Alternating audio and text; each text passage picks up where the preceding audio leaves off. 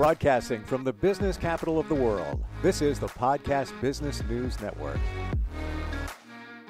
When it comes to the way you show up, the way people perceive you, it all comes down to your image.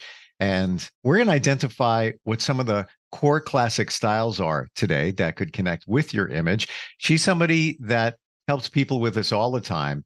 Not only is she the woman behind the International Image Institute, but she also trains people on how to do this. And she's back with us. Karen Brunger joins us on the show. Karen, welcome. How are you? Hi, I'm great. Thanks. How are you? Very well. Learned a lot when we gotten together in the past about color, about style. I'm going to uh, I'm going to inflate you for a moment, and with reason for that. Uh, you are the sought after person when it comes to color coordination. I think color palette. I'm trying to think of the exact term for that. Like in the color in analysis. the yeah. color, color analysis. analysis. Thank you. Thank you. In the world, you're the go-to for that. Um, because you know your stuff. And of course, you help individuals eh, define their style and find the right colors and all of that when they're trying to brand themselves. But also you teach people on how to do this as well.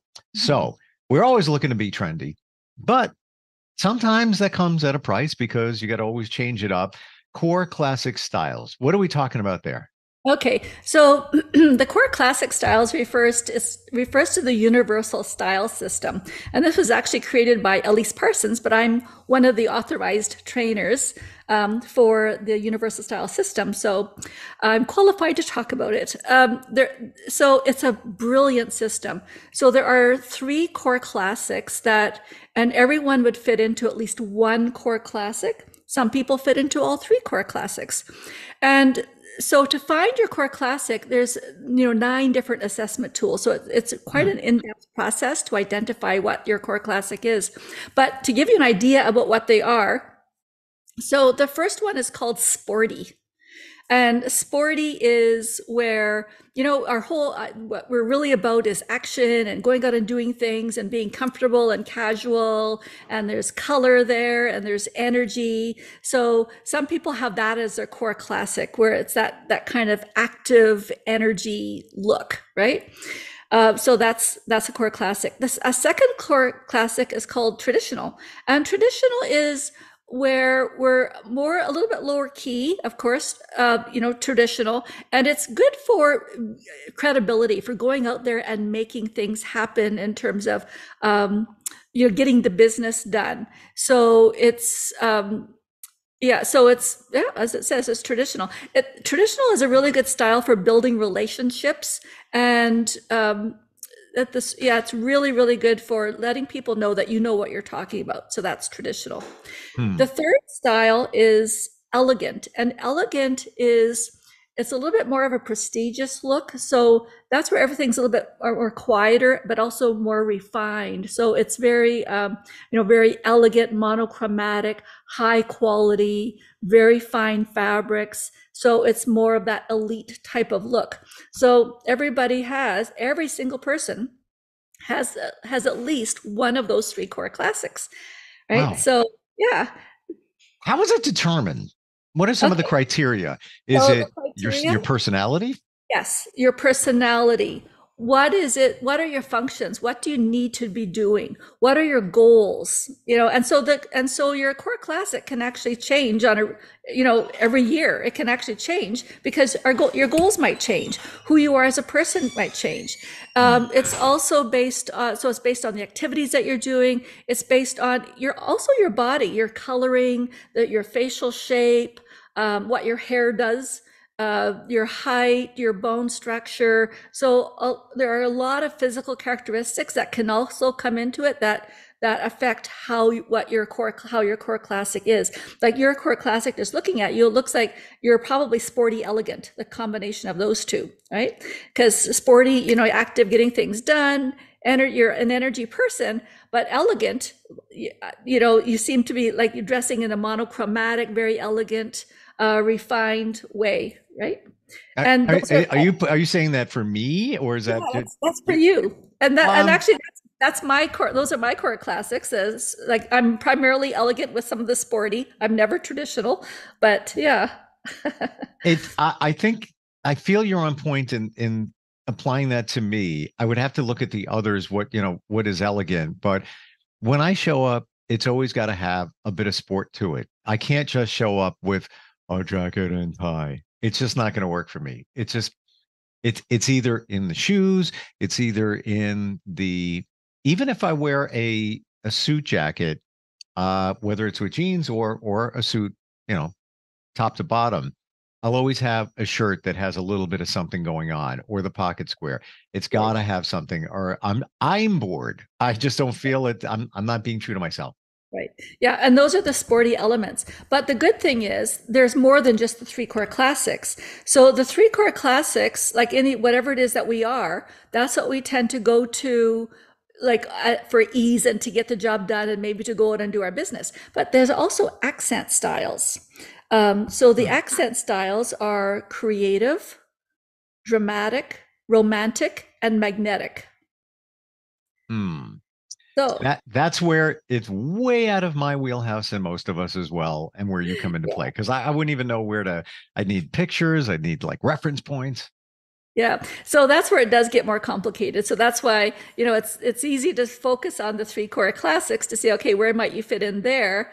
Um, you know, what serves you best. And then it also makes sense why when you're getting dressed, why these, you know, particular type of clothing seems to be more in alignment or easier to wear. Like, so for example, for me, and sounds like for you as well, if we were to put on like a, a traditional suit, and have a that uh, like a, something very traditional it would just say oh no get this off it's just not right mm-hmm. but for another person uh, like traditional is outstanding it's like beautiful and it's so in alignment with them it's just it's stunning but but for somebody that's not that doesn't have that style the traditional style it just it makes the it would they would look old fashioned and boring mm-hmm. right yeah so totally so it really is identifying and be and appreciating what your core what your core classic is, right? So um, yeah, it's kind of fun. And and each core classic has gets a different result. Like we said, sporty is very good for being comfortable and being active and getting things done, like getting things accomplished, right? Um, when you're sporty, there's a there's that there's a fun to it. If you want to have fun, which I do, sporty comes into it. Um, and it's just and it's really being comfortable, like putting on jeans and a t-shirt and sneakers or whatever, and just like going, just going. Mm-hmm. Um, so there, there's yeah, so so sporty is very comfortable. The the other one, the elegant, is like because there's a you know you can be both sporty and elegant at the same time. So if you're being if you're so the how you like how I would bring an elegant, for example, is I'm usually dressed monochromatically, like all in one color. Uh, I usually use very highly refined fabrics, so uh, you know, so there's an elegance to that. It's it's a quieter it's a quieter look as opposed to the sporty, which is, hey, I'm making things happen and I'm out there in the world with the bright colors, right? It's so it's interesting how to pull it together. And I know there are some people that are all three at the same time. They're sporty, traditional, and elegant all at the same time. That's possible. How do you blend all of this together depending on what you're doing? Well, de- yeah. So depending on what you're doing, you could pull out more of one style than another. Like it could be that sitting how you are now, you're bringing up more. You might bring up more of your sporty style. Um, but let's say you were to go out for a nice dinner somewhere, then you might bring up more of your elegant style, right? Uh, for somebody hmm. that's traditional, if they might bring out the traditional style when they when they're going to a meeting or they're doing business or something, or where they have to really play it safe and they need people to approve of them or they need to be able to get people on their side, then they might do more of a traditional style. This is fascinating because you need to figure out what's going to work for you based on your style, based on where you're showing up. Mm-hmm. Right? Yes. Yes. Yeah. And when, but when it gets all together, there's there's an ease to it because then the right thing, you know, if your whole closet is right for your style, for uh, you know, matches everything that you're doing, then there's an ease and that that whether you just grab something that just feels right and you're out the door right it just it, it all works once you know your style so i mean when somebody buys something and they try to wear it and it just doesn't feel right, that means that that style is not in alignment with them. Sometimes we'll see somebody wearing something that we really admire. It's like, wow, they look so great. But then we try to wear the same thing and it's awful. It just doesn't work. So uh, it's it, yeah. So there's a real benefit to to knowing your style, and then you can know what to, what you're looking at in the stores, what to avoid. And the other nice thing about it is that there's it's not that there's a right there's no right or wrong way of dressing. There's just a way of dressing that's right for you, that's authentic for you. But it's there's no such thing as making a mistake, right? It's just like some mm. like when i like sometimes when i used to do more corporate work i would have to put on a more traditional style which was so totally not me. But you know you, i put it on but i uh, but, but when i did the more traditional style then i had to bring out one of my one of my authentic styles in order for me to be comfortable. So for example like one of my accent styles is called creative.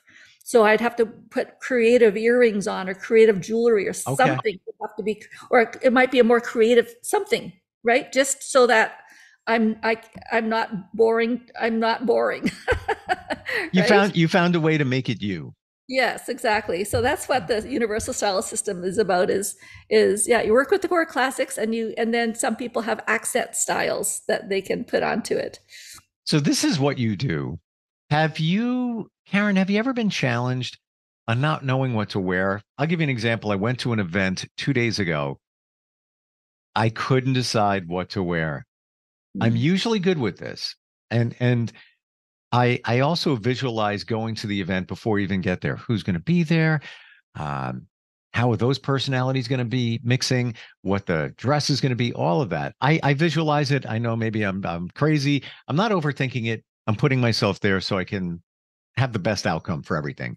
Right. I couldn't decide what to wear. And I actually put I just threw things in my car. I was like, you know, it'll come to me later. I'll make a decision. And I'm I'm thankful I didn't dress too um too dressy because it turned out to be even more casual than I thought. Um, I don't think you can ever yeah, I always take it one notch up anyway. Um, what I wore was okay. It was fine. It was absolutely fine, but I couldn't decide. Does that happen to you? Oh, absolutely. And I think your strategy was really good. Like just okay, just take clothes with you and then see what feels right. And so, and so that can also be like with layering or having that extra piece around that. Oh, you know what? I'm just going to change this out.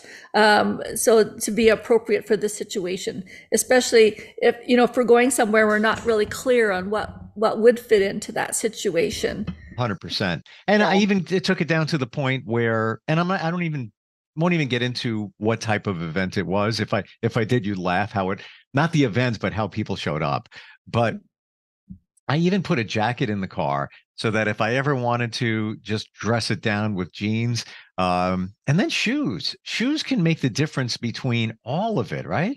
They really can. So when it comes to getting the whole image together, the three main things that you want to have really current and ama- like really right for you are your hair, your eyewear, and your shoes. So those are the three points you want to make sure that they're they're nice quality. You know, everything's nice quality. It's good. It's working for you. It's right for you. It's in your color palette, and then uh, yeah, and then the rest, mm. the rest just comes in. Okay, eyewear. Let's go there. Okay. I struggle with that. I don't have to wear glasses, but it can help from time to time. Mm-hmm. Um, I struggle with what to what to get. Like I'm currently on a recently got frames that are almost clear. Wanted to change it up. I actually left them in the car. Mm-hmm. Um, you know, whether it's bigger, whether it's smaller, rectangle. There's so many choices there. Like, how do you how do you figure that out? Okay, well, that's exciting. Okay, so let's go with the size of the eyewear. First of all, the size of the eyewear typically would be in proportion to your height. So taller people can wear bigger frames, shorter people smaller frames. That's that's very general. The other wow. thing to look at would be um, your bone structure. So if you have a more fine or medium, me, fine to medium bone structure, you want frames that are not too chunky. They, you want them to have a, a lighter uh, frame, like a, like a wire frame or something very thin. Okay. Whereas if your bone structure is more medium to strong, then you want a chunkier, thicker frame because then it's in proportion to the bone structure. The shape of the eyewear is based on the shape of your face. So your face looks pretty oval And so your your frames now you do have some a little bit of chiseling. Actually, our facial shapes are pretty similar. Um, uh, oh, here, let me put my glasses on. Okay. so my glasses are wire framed because I have a fine bone structure. And you can see I have an oval shaped face with more curve. So these glasses have more curve. But because I have some creativity, you see how there's this little fun pointy thing coming That out. was the first thing my eyes went to. Yeah, plus it helps to give me a facelift. so, um, Wow. also the other thing to look at, so the the frames are the same width as my as my face, and my eyes are in the center of the lenses. You see how the frame is this cover uh, follows my eyebrows. So that's what you want to look be looking. Those look like they, you look like the poster when you go into the eyeglass place that that they put up, you know, here's the way it should look. And Yeah. the first thing, you know, the round, this is my personal opinion, the round was fine and it, and it and it definitely supports and fits you. But the fact that you changed it up over here with that frame adds a cool vibe to it, breaks that circle. Um this Yeah. is why you're great at what you do. Like, whoa. and also of like course cool. the color is my color so for you um you know because you have more angle then you can have more or less an oval type of frame but with with some angle to it if you want right like not Okay. not a, not as like maybe a little bit rectangular but not an extreme rectangle but that in the, that kind of a range yeah Gotcha. And um color, you know, of frames. Now your yours are wire frames, so you wouldn't see the color so much. Right Um, but I'm sure there's there's something going on there we're not seeing, you know, on the right Zoom. yeah because my frames are like a pewter color like a, a charcoaly like a dark gray flat gray which so flatters your hair. It does, and the, so the reason I chose these is because my my my coloring is very flat or matte. It I absorb light. I'm not a shiny, vibrant, like bright person, and so this is a flatter metal um, that goes with my complexion, and the color being it's cool, and I'm cool.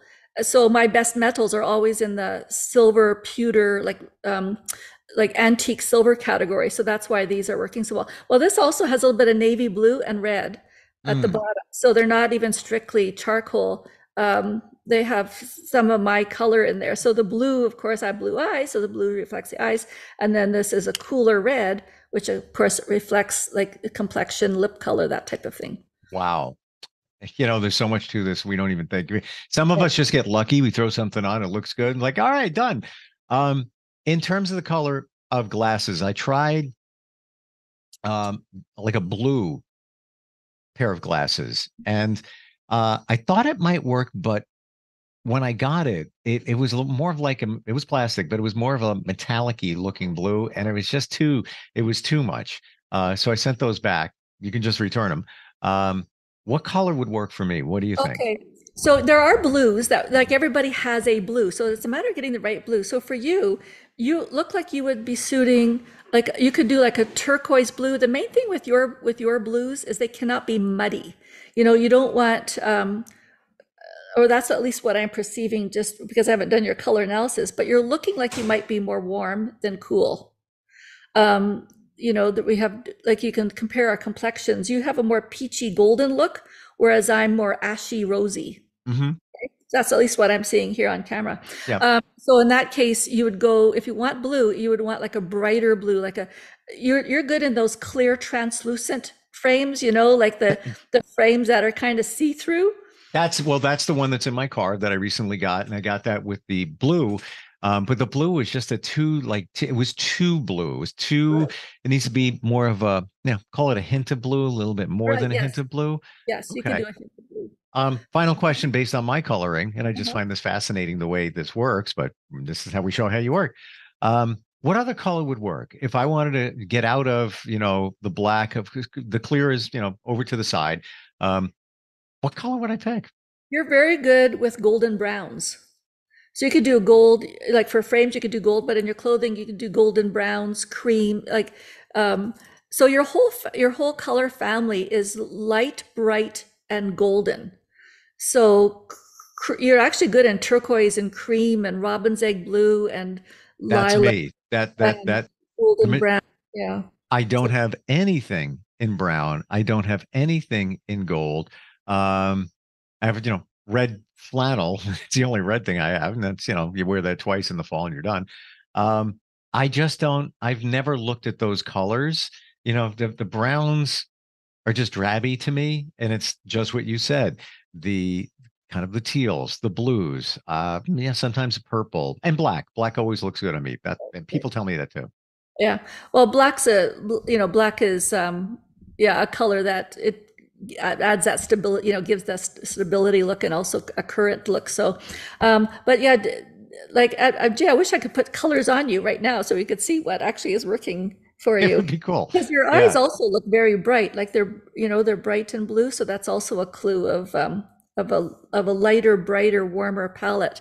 Um, if that's the case, so then your darker colors would be like a, a light navy blue, like not a too dark of a navy blue, but a lighter navy. I agree. Uh, yeah. And and so you'd be better in turquoise rather than teal because teal gets a little bit heavy for you. So there are some and some of the browns will be too heavy. That's why they have to be browns like more butterscotch, honey, caramel, uh, cinnamon, nutmeg, paprika. You could do spices, paprika, cayenne.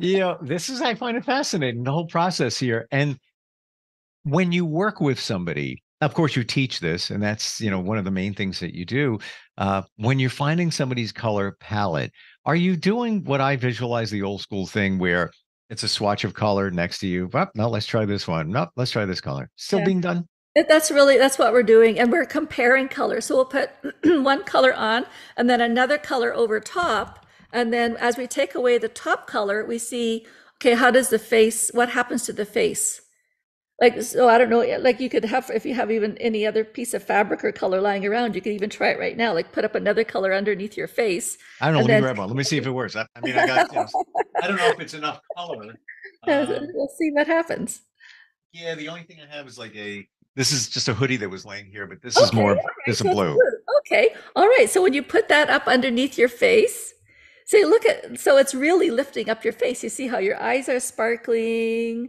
mm. right right yeah compared to when you don't have it, your eyes are really coming out nicely with that blue. Interesting. Yeah. This yeah. is actually an old hoodie and, and it looks brighter on camera than it really is. Um, but I've had this forever. And just to your point, I don't know why I like it, but maybe what you're saying is it has a certain look. And I've got other ones that, you know, are sort of in the blue family. Um, they don't do what this does. And and this is it's almost like a it's hard to even explain, but it's almost got like a little bit of you know texture and white to it. Okay, um, all right. But it makes yeah. it you know, a little. I, you know what? Looking at what you're wearing, it mm-hmm. almost looks like that because mm. you have a different type of tones. Right. So yours is more of a cobalt blue. I see a little bit of green in that blue, whereas the blue I'm wearing has a little bit more purple in it. Okay. So this hmm. is a purple blue. So, but the greeny blue, like that, that's another that's another thing that would be nice on you is the blue that has a bit more of a green, like a cobalt blue. Um, that kind of uh, greeny blue is really good on is what's really working for you. And the other thing would be to make sure your blues are more clear as opposed to muddy, right? Because mm. if you wear something muddy, oh, I just got a picture of it in my mind. If you put something muddy on, you would actually turn gray and kind of pasty. And you know what's interesting? If you can't on a Zoom here, uh, unless we zoom in and all that. Yeah. You can't see, but my eyes are blue, but there's a hint of green, which yeah. stands to reason why what you're saying would yeah. tie everything together, at least with, with, with my coloring. Yeah. Yeah, that's really that's the whole process is I I'm it's fascinating because it's so important. You know, how you show up, what you're wearing. Style is one thing, but you know, color is another thing. Yes. You know, you could have the perfect uh fitting jacket, dress, whatever it might be, if it's not the right color, you just wasted your time. Right. Yeah, that's exactly right. Yeah. Wow. yeah for uh, me, color is number one for sure. This is just a sampling of what you do with the International Image Institute. Uh, certainly teach this so people can make it their life's work to help others doing what we just described here. How do we find you, Karen? Um, oh, my website is imageinstitute.com. Gotcha. And yeah, for somebody looking for a color analysis and color palette and all of that, um, and also to teach, they can reach out to you same way. Right. Yes. Yeah. So that the website, that website has information on the different training programs that we offer, and there's also a link, direct link to our web store, which has all of our color analysis tools, our oh. image consulting tools, all kinds of resources are on, and there's some for free as well on our web store. So yeah, people can check out both of them. I've been to your site, and I don't recall seeing a web store, so I will definitely be checking that out. Yeah. I think I don't. I can't remember what the tab is called. It might be like shop or or it might just be store. I'm not sure, but yeah, you right. can you can go there and click, and we have uh, like over 200 products, I think. But we're wow. I think we're the number one supplier in the world for color analysis tools. So most people get their Swatch wallets and their tools for doing color analysis. Yeah, we have all of that. awesome, Karen. Thank you so much for today. Really appreciate it. Okay, you're welcome. Thanks for having me. We'll be right back. Are you looking for even more of the podcasts and hosts that you love? The Podcast Business News Network is proud to announce that you now have even more ways to listen live. Check out the MyTuner Radio, online radio box, and Simple Radio apps on iOS and Android, or find us online. Search for Business News Network on mytuner-radio.com or search Podcast Business News Network on streema.com and onlineradiobox.com slash US. Take your podcast on the go and don't miss a minute of the action.